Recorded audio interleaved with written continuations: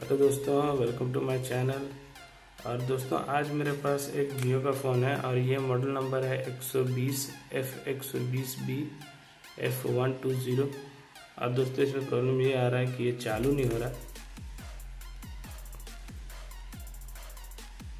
तो ये देखिए दोस्तों, ये चालू नहीं हो रहा। तो हम सबसे पहले जो स्टेप लेते हैं तो कि बैटरी मेरा चार्ज है कि तो मीटर को ट्वेंटी पे करके डीसी में चेक कर लीजिए कि जो है बैटरी मेरा चार्ज है कि नहीं। देखिए, बैटरी मेरा three point seven three point eight charge है। तो चालू क्यों नहीं हो रहा दोस्तों? और एक चीज़ मैं आप लोग को बताने वाला हूँ दोस्तों, कि आप कैसे इसको जियो फ़ोन को फाइंड आउट करेंगे कि इसका पावर आईसी सीपीयू ओके है कि नहीं। ठीक है दोस्तों? तो वीडियो इंटरेस्टिंग है दोस्तों, अगर आप लोग मेरे चैनल पर नए आए हैं तो प्लीज़ मेरे चैनल को सब्सक्राइब करिए और नोटिफिकेशन बेल आइकन को दबाइए, ताकि मैं इस तरह का वीडियो आप लोग के लिए लाता रहूँ। तो बैटरी को निकालने के बाद जियो फ़ोन को सबसे पहले आप, है ना चार्जिंग में डाल के देखिए, उससे आपको पता चल जाएगा कि मेरा फ़ोन क्यों नहीं ऑन हो रहा है क्या प्रॉब्लम हो सकता है। तो ये देखिए जो फ़ोन मेरा चार्जिंग पे लगाने के बाद जो है, ये देखिए ऑन हो रहा है, फिर बंद हो जा रहा है। मतलब ये है कि इसका सीपीयू ये जो प्रॉब्लम है, इसका सीपीयू पावर आईसी ये सब कुछ ओके होगा जब ये ऑन हो रहा है, ठीक है? तो ये बैटरी से क्यों नहीं ऑन हो रहा है? हम ये देखते हैं। ये देखिए, बैटरी से ऑन नहीं हो रहा है। मैंने बैटरी को भी चेक कर लिया, बैटरी मेरा रीडिंग दे रहा है, बैटरी में मेरा वोल्टेज बता रहा है। ये देखिए, बैटरी में 3.7 वोल्टेज बता रहा है। तो चलिए खोल के देखते हैं कि क्या प्रॉब्लम है।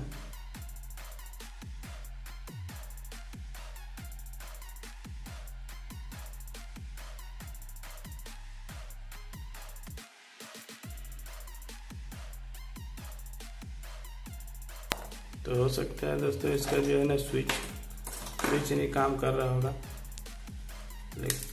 या तो फिर बैटरी का जो है कनेक्टर जो है, वहाँ से प्रॉब्लम हो सकता है। तो हम एक बार इसको शॉर्टिंग भी चेक करेंगे।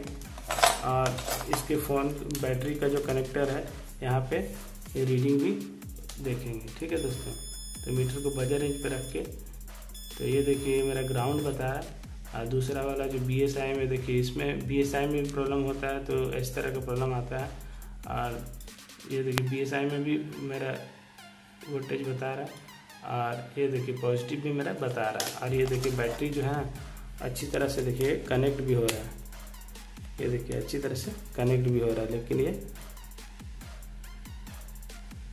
फिर भी चालू नहीं हो रहा। तो हम खोलते हैं इसको।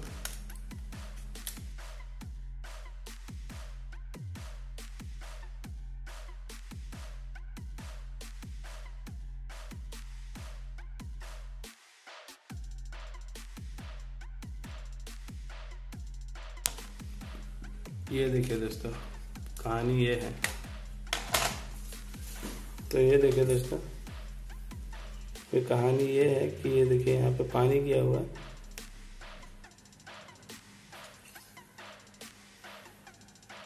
ये देखिए, ये जगह जो है, पानी की वजह से प्रॉब्लम आ रहा है इसमें। तो शायद इस वजह से ये प्रॉब्लम कर रहा था हम इसको सबसे पहले है ना, सबसे पहले हम इसको वॉश करेंगे बढ़िया से। चलिए दोस्तों हम इसको वॉश करते हैं। और वॉश करके देखते हैं कि मेरा प्रॉब्लम सॉल्व हो रहा है कि नहीं हो रहा है।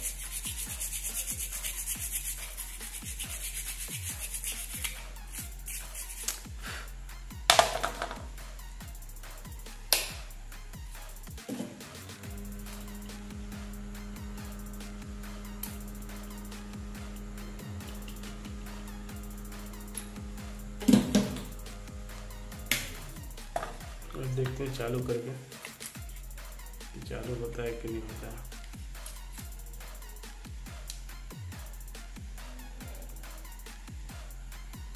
तो दोस्तों, अभी भी चालू नहीं हो रहा है। तो हम एक बार स्विच भी देख लेते हैं कि कहीं जो मेरा स्विच से तो कोई प्रॉब्लम नहीं है। तो स्विच को चेक करने के लिए मीटर को यहाँ पर रख के देख लीजिए कि दोनों पॉइंटों में इसमें रीडिंग आ रहा है कि नहीं। तो देखिए, बीच वाले पॉइंट पे रीडिंग आ रहा है। और ये पॉइंट ग्राउंड बता रहा है मतलब ये इसका बटन का जो प्रॉब्लम नहीं है कुछ भी। भी प्रॉब्लम है दोस्तों, मुझे लग रहा है ये जो है ना, ये देखिए, इसका जो बैटरी का जो पॉइंट है आपको दिखा देता हूँ। बैटरी कनेक्टर के पास देखिए, यहाँ पर जो पॉइंट है, ये पूरा काला हो गया है। शायद इस वजह से जो है ना, ये वोल्टेज पूरा अच्छी तरह से पास नहीं कर पा रहा तो हम एक बार जंपर मार के देखते हैं कि ये प्रॉब्लम सॉल्व होता है कि नहीं। तो मैं बताया था आपको कि कहाँ से कैसे जंपर मारना है।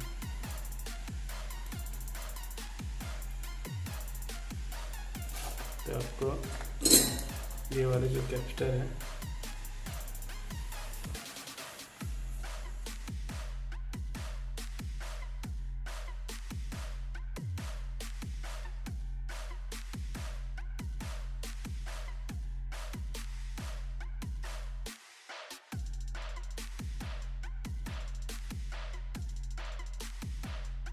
पे इस तरह से जंपर लगाना है। और अब हम जंपर लगा के देखते हैं कि मेरा फ़ोन चालू हो रहा है कि नहीं चालू हो रहा है।